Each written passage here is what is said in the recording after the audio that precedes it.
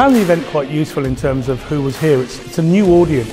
Quite often it's, quite, it's important that we can get across the concepts of digital identity and standards to a new audience, especially in a regulated market. They look towards regulators for guidance in how they should undertake digital identity and assure the identity of an applicant, for instance.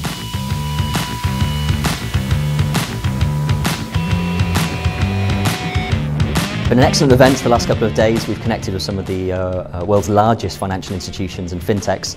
Great to be here with a forward-thinking look at uh, uh customer onboarding, customer verification, and looking forward to coming back again next year.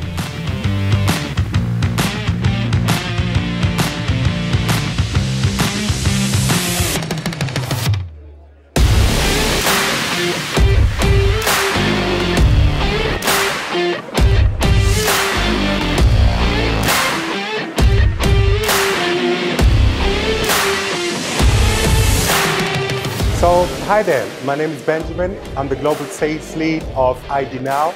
ID Now is a German company and we are actually the leading RegTech company in Europe. And um, why we attended this event was because um, it was quite specific, right? Quite specialized in KYC, in digital onboarding, this is actually our home turf. This is where we come from. So we see this format um, that um, Group Futurista is actually offering as a really great benefit um, for our sales approaches. Because as you can imagine, if you have to meet and set up meetings with all the guys that you can meet here um, by yourself, this would take a lot of time, effort, and money.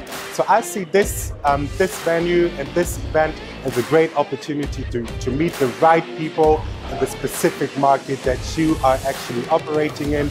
And therefore, thank you for having us. It was a pleasure and see you next year.